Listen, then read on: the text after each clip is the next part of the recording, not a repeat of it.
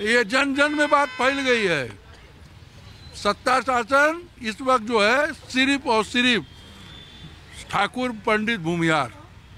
Okay बाद कोई नहीं। किसी भी पार्टी में हमारे पार्टी में भी जो हैं मन से पूरा दिन में बसपा रात में भाजपा। आपके जो विधायक है? हाँ हाँ उसमें तो दे ही दिया बीजेपी को अरे हम क्या कह रहे हैं? सुनने में आ रहा है। सुनने नहीं हंड्रेड परसेंट है। वो मैं सुनना कहीं नहीं हंड्रेड परसेंट है। ये जो ये सदियों से चला आ रहा है। सुने- राजपाट छोड़ के ये लोग नहीं हटने वाले हैं। सच्चाई को कबूलिए राजा महाराजा यही लोग होते हैं। यही मायावती पाँच साल थी यही अखिलेश यादव तो थे चार बार मुख्यमंत्री थी। तो ये लोग। कहाँ थे शासन में? अब उसी जगह थे। अरे आप भूल गए। भैया तेरे नाम जवानी दीवानी कहाँ चले गए? यही लोग तो थे। अहिर का बच्चा मियाँ का बच्चा नोनिया का बच्चा मल्ला का बच्चा ये नारा दे रहा था। नहीं चौहान जी बैठे हैं बूढ़े हो गए समाजवादी का झंडा रोते रोते। ये तो नौ नौजवान अपनी जवानी दे रहा है।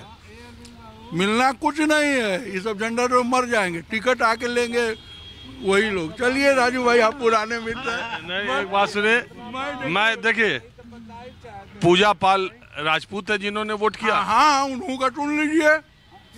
वो अटी पिछड़े लोग हैं इनको रहना है उन्हीं के बीच में अपने मन से कोई भी तर्क दे रहे बिना मतलब। का पूजा पाल बीजेपी को वोट दिया तो वो कह सक नहीं वो कह सकती है कि अतीक अहमद अशरफ उनके पति पर उनका आरोप था और अशरफ की हत्या में सबसे बड़ा बुनियाद कानपुर की रैली अरे सुनिए। अरे सुनिए वो पीछे की बात नहीं जा रहे आप हमको बताइए वो महाराजी देवी गायत्री प्रजापति अखिलेश सरकार में पर मुलायम पहले रुकिए ईडी सीबीआई इनकम टैक्स सब तो रा, मैं राष्ट्रपति को उनके परिवार में उखाड़ के फेंक दिया आप सोच रही हैं कुछ बच जाए।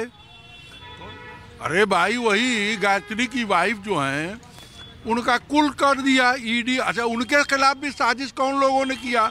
वही रायबरेली के बाबू साहब लोगों ने वही कांग्रेसी जो थे उन्होंने ही जाल बूझ के प्रजापति को जेल भिजवाया, सारा ड्रामा कराया। प्रजापति निर्दोष होते हुए दोषी हुए। और उनकी पत्नी को इतना दिन तक अखिलेश यादव ने ढोया, एमएलए बनाया, मगर वो दलित हैं, बैकवर्ड हैं, उनके कितनी क्षमता होगी, सरकार से लड़ पाएँगे? हर चीज़ का आप अपना एक तर्क दे दे रहे हो।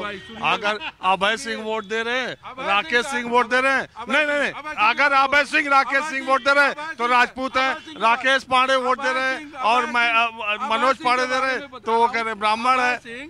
अभय सिंह मज़बूत राजपूत है इसमें कोई शक नहीं परिस्थिति वंश अपनी पहले जान की सुरक्षा करेंगे अपने माल की सुरक्षा करेंगे फिर उसके बाद दल पार्टी वो मजबूर आदमी देखिए आप भी जानते हैं सब मैं भी जानता देखिए मैं कह रहा हूँ 2022 से 2022 से ये सब विधायक थे 2024 आ गया। दो साल में तो सब पार्टी नहीं बदली। दो साल में तो चलता गया बचते गए।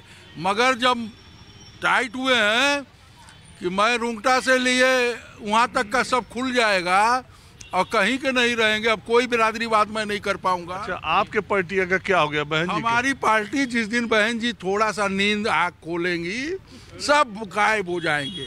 बस अभी खोल नहीं रही हैं, अभी नींद में है।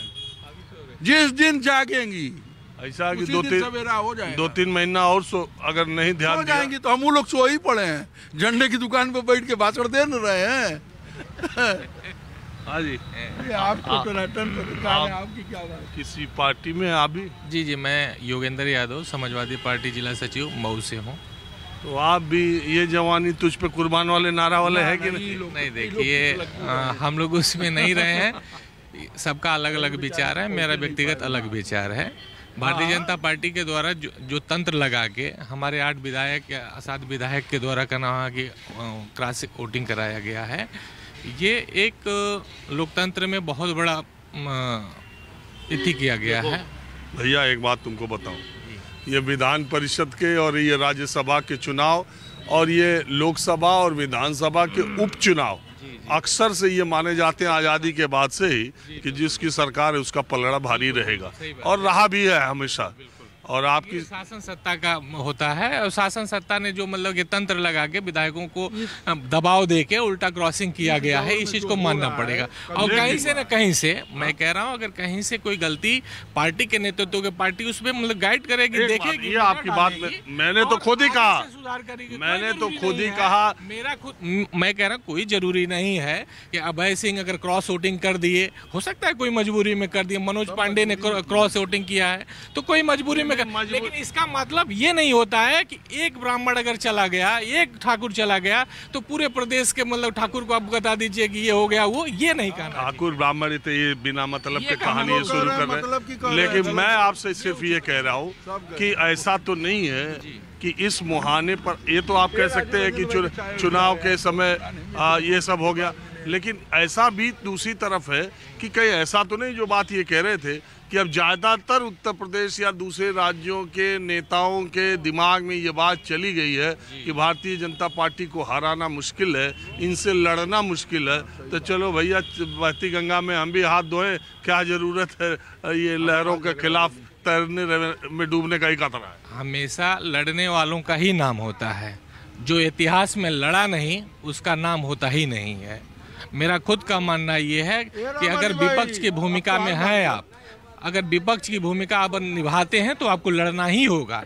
लोकतंत्र में आप आपको याद होगा सतहत्तर के समय में इतना बड़ा कांग्रेस भी इतनी बड़ी पार्टी थी जिसके खिलाफ लोगों ने लड़ा इस वजह से कहना कि भाजपा आई।